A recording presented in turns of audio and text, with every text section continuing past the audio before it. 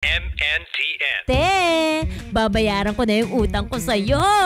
Sa Smart Padala na lang ulit ah. Mabuti naman! Sakto kasi mas madali na mag-claim ng Smart Padala Remittance ngayon. Oo nga daw. Dati kasi sa isang branch lang pwede, pero ngayon, kahit saang Smart Padala agent malapit sa'yo, pwede ka na mag-claim. Ayos na ayos. O siya, abangan mo na lang yung padala ko ah. Thanks, te!